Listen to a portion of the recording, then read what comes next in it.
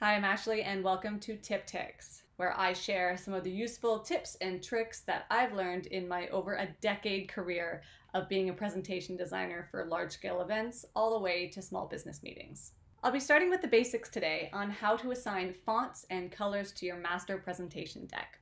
Let's get started. So if I just open up a new blank file from PowerPoint, this is what I'll see. I'm going to make a couple of quick text slides just to use as examples. I go up to layout and pick a few different formats and I'll just fill them in with some basic text for now without changing anything from the default. So now that we have those slides ready, let's go up to view and click on slide master. Here you can see we have all of those pre-built layouts from the layout tab. We're going to click on the largest one at the top, the main master layout. Changes made to this one will change all the submasters below. If you make changes to any of these sub layouts, those changes will only be seen on that particular layout and won't affect any of the others. So for making tweaks to the main theme, you want to use that top master. So again, I'm going up to fonts here.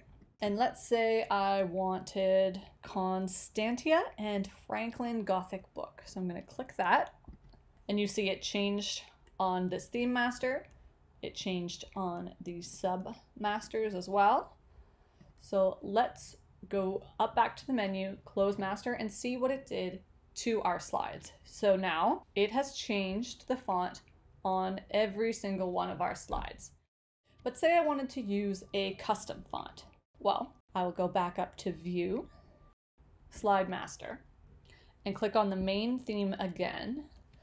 And let's click on this headline text and select it and go to the Home tab at the top and go in and change this font. So say maybe I like this serif font, so I'm going to do Bodoni Bold, just a little bit different of a serif font.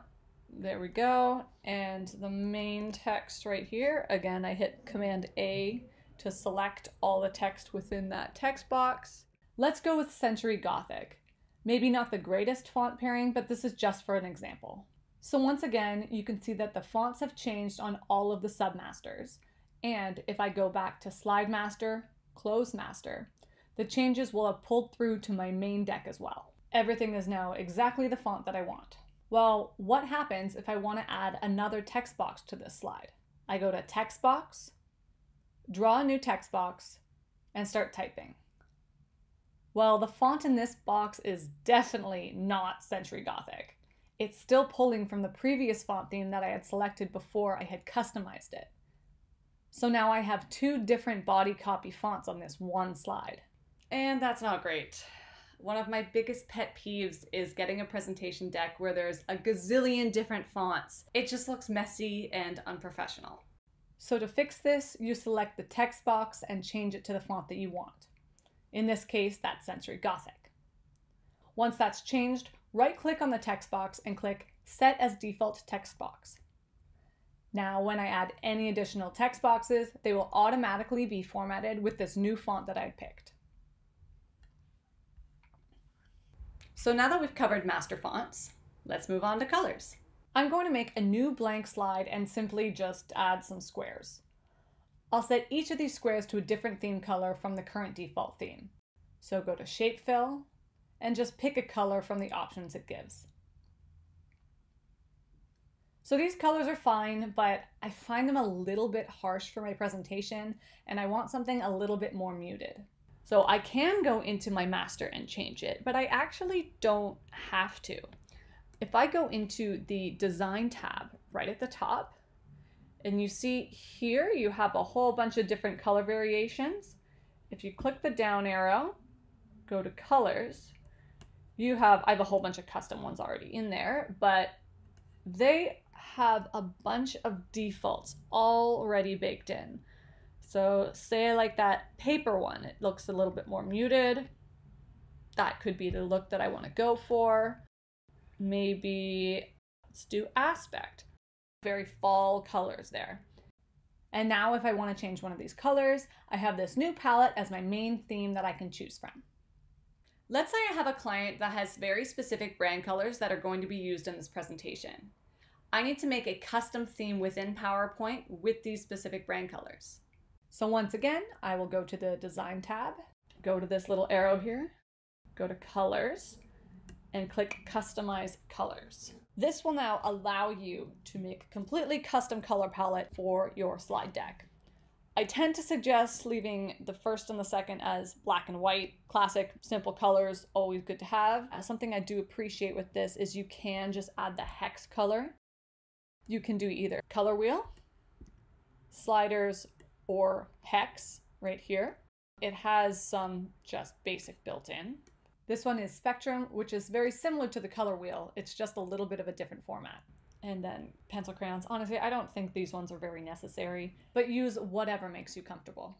So PowerPoint gives you a couple suggestions on where to place your light and dark colors.